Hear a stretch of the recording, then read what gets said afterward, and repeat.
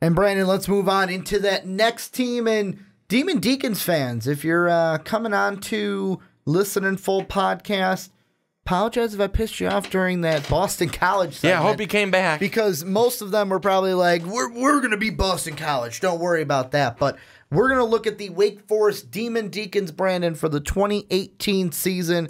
And the first question I want to ask you has to do with the quarterback situation because you've got John Wolford, he's gone.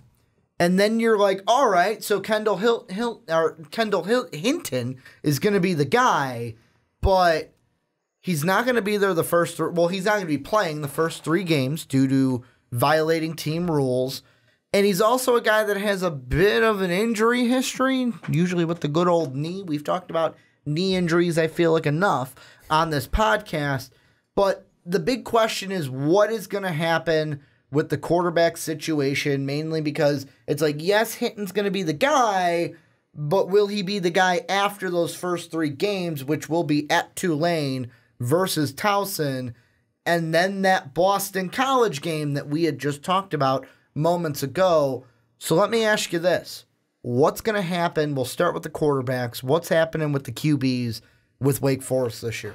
Well, I think that that's that's going to be the, the the biggest question right now for for Wake Forest, and which is why I think it is hard to say. And now people will probably be upset with me. Mm-hmm. I think it is hard to say that with certainty Wake Forest would be able to get that win over Boston College because right now they're losing the quarterback that probably could have given them the win over Boston College mm-hmm. College and John Wolford, and they're moving to a guy in Kendall Hinton who who is more of a runner anyways um but you know he's a he's he's a guy who like you said injury history you're out 3 games for violating team rules.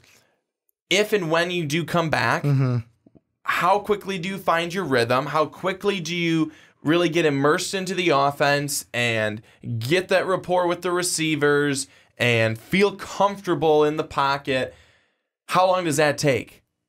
A quarter? A half? A game? Two games? Mm-hmm. You know, how, how long is that going to be?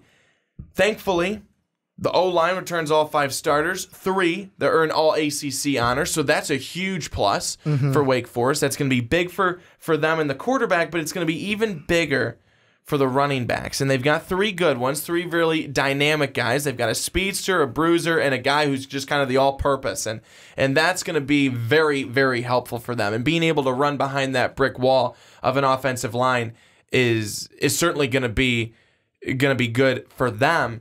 But again, it, everything's kind of going back to the quarterback.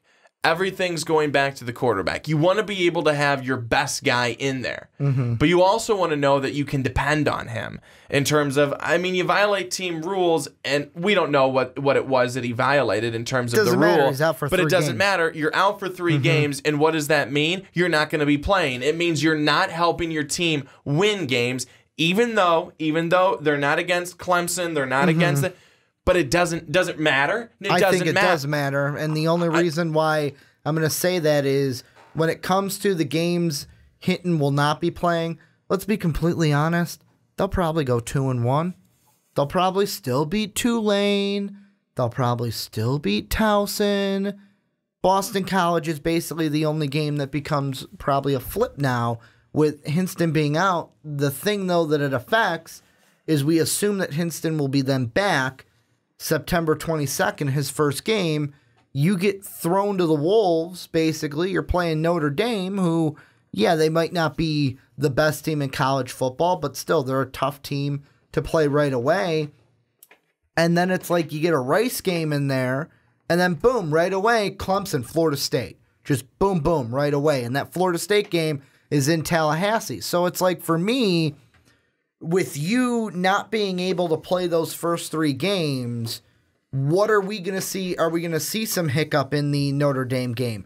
Is two games, Notre Dame and Rice, enough for you to be ready, rearing to go against when Clemson comes to town? Because we know how good Clemson will probably be this year. I doubt them even without Deshaun Watson, and they still make the playoff and still go 12 and 2 last year is two games going to be enough to get ready for that? And are you even going to be, let's be completely honest, is Hinton, Hinton going to be even enough to give the Demon Deacons an edge over Clemson? Spoiler alert, he's probably not. Clemson wins that game anyway. So, I mean, for me, yeah, it could be two and one, but then Notre Dame could be a question. All right, now you're two and two. Rice, I'll give you a win there, three and two. But then boom, boom, you could be right back down to three and four by the time you get to that Louisville game on Halloween weekend.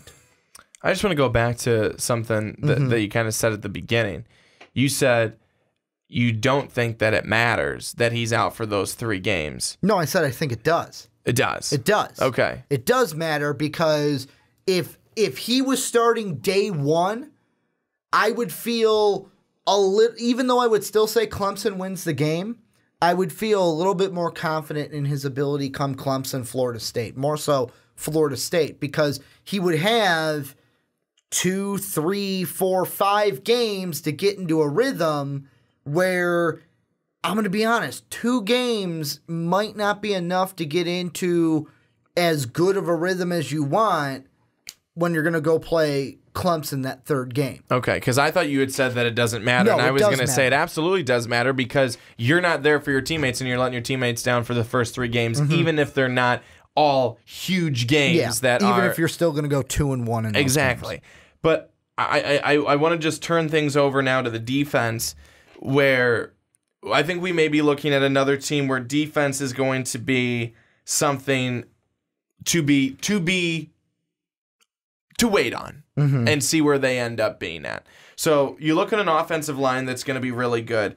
You look at a defensive line that should be really good. You look at a linebacking position that's probably going to be of greatest concern. All the starters are gone. The, res- the returners are shaky at best. That's going to be a problem. And then over the last six games of the season, Wake Forest allowed an average of 380 passing yards per game. The mm-hmm. secondary has got to be cleaned up. They lost Jessie Bates, uh, one of their safeties. He mm-hmm. went to the NFL early, and then they're they're they're going to be moving a receiver, Chuck Wade, into Bates' spot. And hope that he's going to be able to uh, uh, get get the job. Can done. I ask you so this? It, it's worked out before but that's a little shaky. Let me ask you this when it comes to the defense. So last year, the defense had you had a new coordinator in Jay Sawvel and then two new assistants come in. And here's a quote from Sawvel, and I want you. I'm, I'm going to ask you what you think about this. He said, at times, the new coaches weren't on the same page. All these guys have had a year. We've looked at it we see our mistakes. Put yourself in the shoes of a Wake Forest Demon Deacon fan. Hearing that from your defensive coordinator heading into this year after the defense took a step back last year, does that quote ensue confidence in you? Because for me, it does not.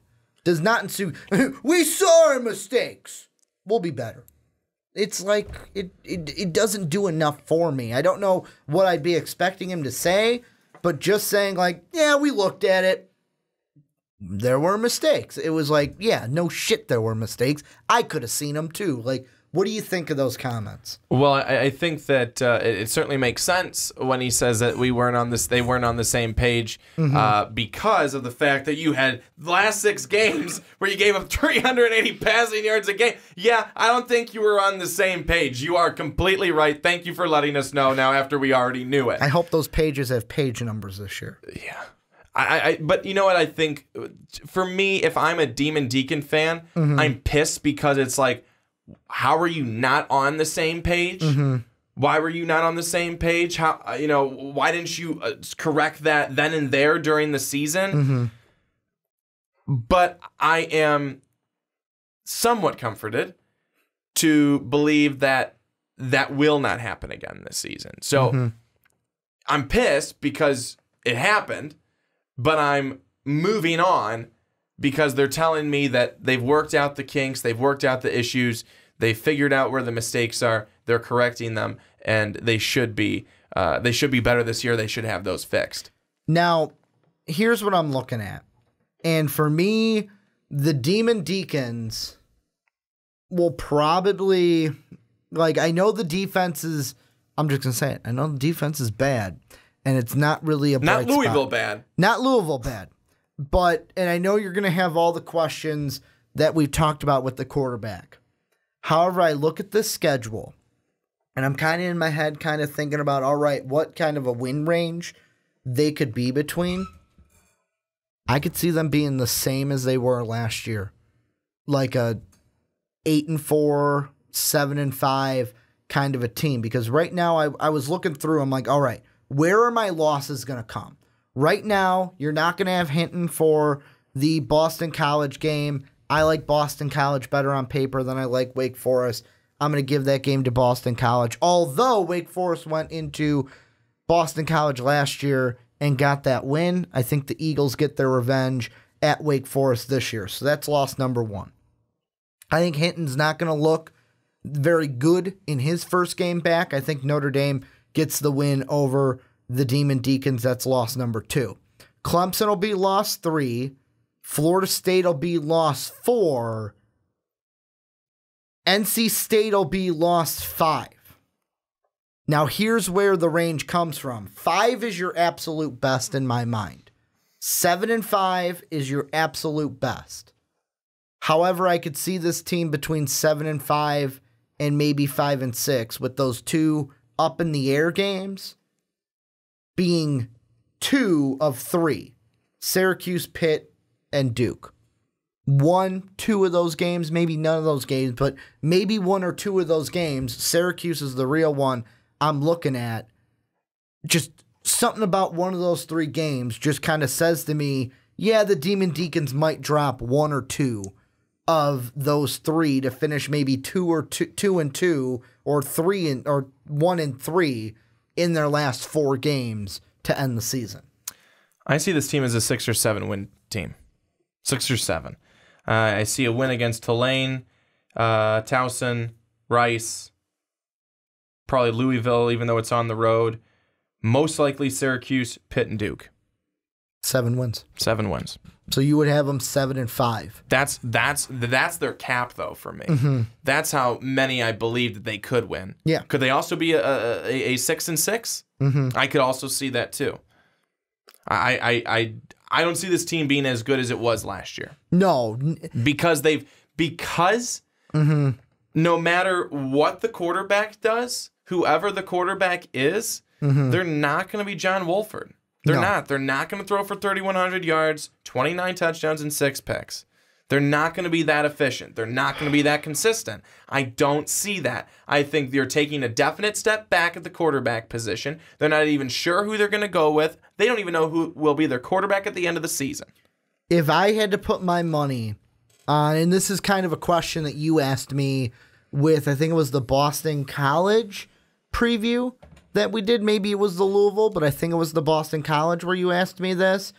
Now that we're getting more and more through this side of the division, the picture kind of becomes more clear in your head. Yeah.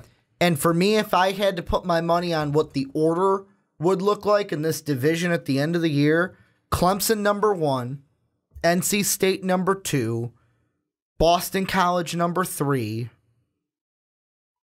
Florida State number four, Wake Forest, Louisville, Syracuse.